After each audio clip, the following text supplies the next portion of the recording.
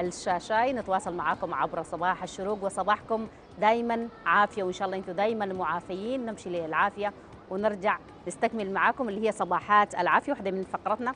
خلونا نتابعها ونرجع نكمل.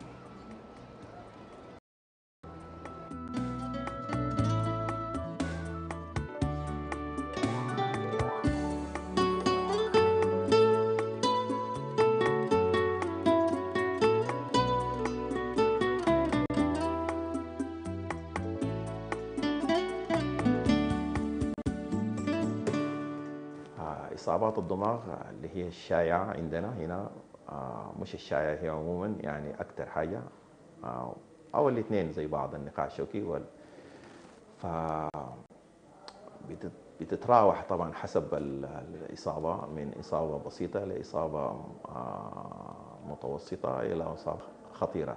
اللي تستلزم بعد ذاك دخول المستشفى والمكوث فيها وقد تصل للحجز في آه، العنايات المكثفة. لما نتكلم عن إصابات الدماغ بنعني بالإصابات اللي هي ناتجة عن إصابة مباشرة للدماغ أو عن أولا عن طريق آه، ال- حوادث المرور أو آه، ال- الإصابات الجنائية.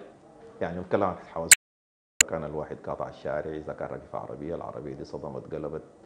المواتر الركشات كل الكلام ده كويس. بينتج عنه مرات إصابات. قلنا زي ما قلنا ممكن من خفيفة ومتوسطة إلى إلى إلى خطيرة. آه السقوط من من من مناطق عالية كويس. آه ال- آه، آه، الإصابات الط- ال- الطلق الناري إصابات بآلات حادة دي كلها بتندرج فيه هي دي طبعا مفروض أساسا طوالي ال ال الإنسان بيتوجه لأقرب حوادث أو مفروض إنه يكون آه، عندنا نحن نظام آه، بتاع ال ال الاسعاف وايصل لأنه في موضوع الاسعاف ده ذاته في كمية من الحاجات عشان تحافظ على على استقرار ال- ال- ال- ال- العمود الفقري أو تككل مرات كثيرة ممكن يكون مساعدة الناس لل- لل- لل- للمصاب ممكن تأذيه أكثر مما مما تنفعه.